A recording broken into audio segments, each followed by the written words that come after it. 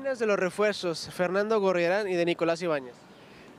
Eh, pues creo que cayeron muy bien para el equipo, eh, sobre todo Nico, y esperemos que el próximo que viene también. Excelentes jugadores, o sea, estaba hecho un trabuco. Uh, sus buenos jugadores los dos. Esperemos que, pues Gorrarán ya lo hemos visto y está aportando bastante, bastante bien y podemos esperar que Nico haga lo mismo. ¿verdad? Muy buenos, muy buenos. Y lo de Laines, pues va a ser a lo mejor este, una cuña para que los demás también este, pues hagan lo mejor que pueden para que el equipo salga adelante. Pues me parece muy bien, siento que pueden llegar a hacer la diferencia este torneo. Fíjate que se me hacen que son buenos jugadores, hay que ver ahorita a ver qué traen. Vamos a ver si se ganan la titularidad para estos juegos. No, no, los excelentes, excelentes. Son unos jugadorazos. Ojalá el tiempo me haga eh, ver que tengo la razón, pero son unos jugadorazos. Son unos jugadorazos, dice, dice la voz del pueblo tigre. ¿Qué opinan de lo que se dice? ¿Con cuáles se quedan? Nada, con todos. Creo que, bueno, hablando por los dos un poco, obviamente que el agradecimiento del primer día fue, es muy grande por, por el cariño que nos brindan a los dos. Eh, bueno, obviamente que también no tuve el placer de conocer a Diego, pero se nota también que la gente lo quiere. Eh, y creo que, que como, dijo, como dijeron hoy, ellos hicieron su trabajo por fuera y creo que hoy nos toca a nosotros hacerlo dentro. Nico.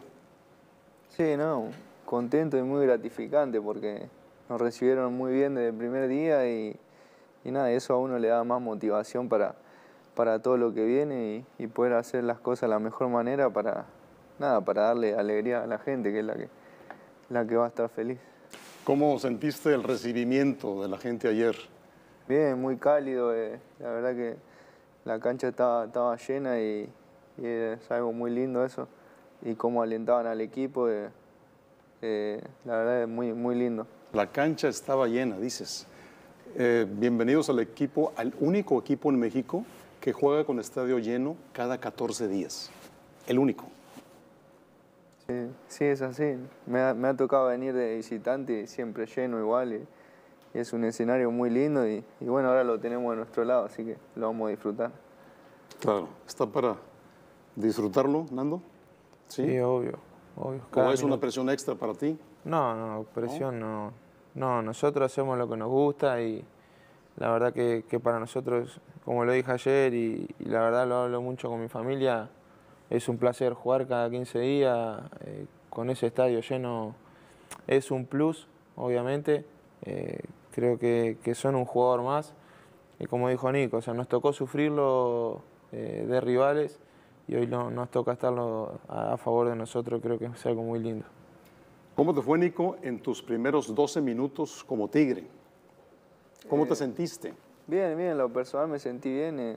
fue un, un partido difícil que en que no pudimos encontrar el gol, pero lo buscamos por, toda, por todas partes. Y bueno, no sé, digo, son partidos que, que son así trabados, duros, y, pero en general me, me sentí bien y, y, nada, a medida que vaya conociendo más a mis compañeros y, y, trabajando más lo que quiere el profe, seguramente me voy a ir sintiendo mejor.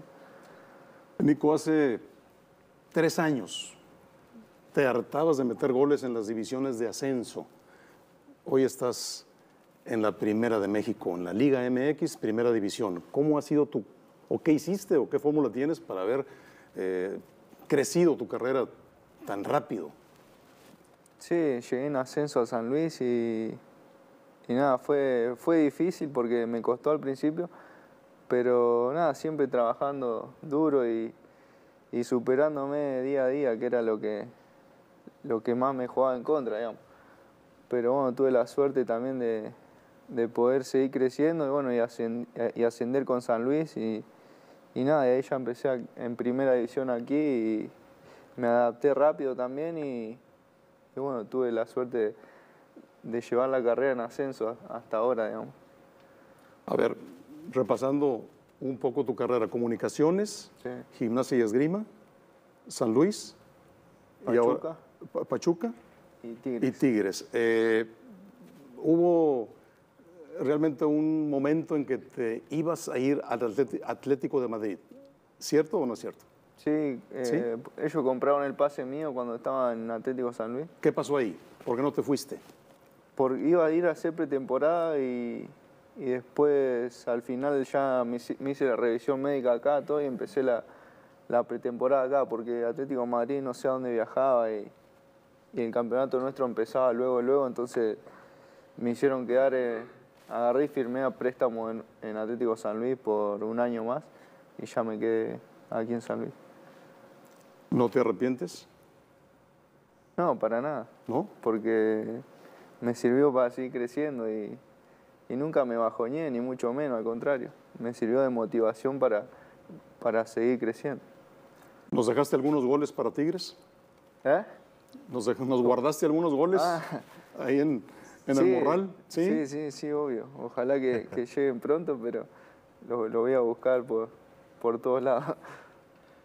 Nando, doble contención o volante de ataque o de enlace. ¿En qué parte de la media cancha te sientes mejor? Donde me ponga el profe. No, yo siempre fui de jugar donde me ponga. Eh, no tengo una posición fija, la verdad sé adaptarme. eh, quizás es una de las virtudes que tengo, el, poder adaptarme y acoplarme rápido a, a lo que me pide el entrenador.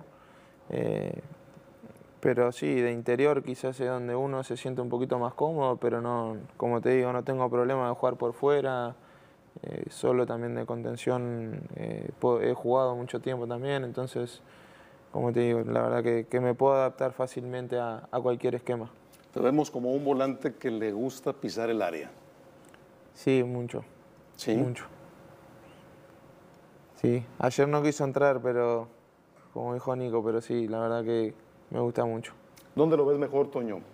A Fernando. No, pues yo creo que como él dice, tiene muchas virtudes, ¿no? Así lo hemos analizado, tiene muy buena pegada, tiene buen, eh, buen pase, buen valor, balón largo, creo que puede jugar, como él dice, contención solo, doble contención, volante por derecha, volante por izquierda, o sea, creo que es un plurifuncional, ¿no? Y a veces hasta pues, de medio ofensivo, ¿no?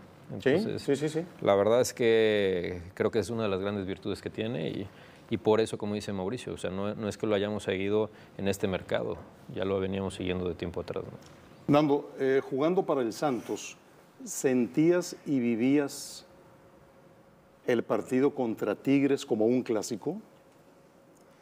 Eh, sí, quizás en, en Santos sí se vivía como clásico el, el partido con Tigre y Monterrey. Así lo ve mucha gente. El sí. Tigre Santos ya es un clásico para muchos. ¿Para ti? Pero hoy estando de este lado, yo siento que, que el clásico regio, es, si- es con Rayado, la rivalidad mayor es, es con Rayado y no tanto con Santos. O sea, de este lado como que se vive distinto. ¿Sí? Sí. Por cierto, 48 días para el próximo clásico. ¿Qué saben de ese partido? ¿Qué les han platicado? Es el que tenemos que ganar obligatoriamente. Eh, no podemos empatar, no podemos perder, hay que ganarlo. Es el único resultado que nos sirve. Prohibido perder, Nico.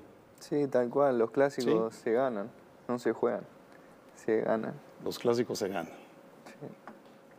Regresamos a la Peña Futbolística con la segunda encuesta de la noche. ¿Qué le pides a Diego Coca?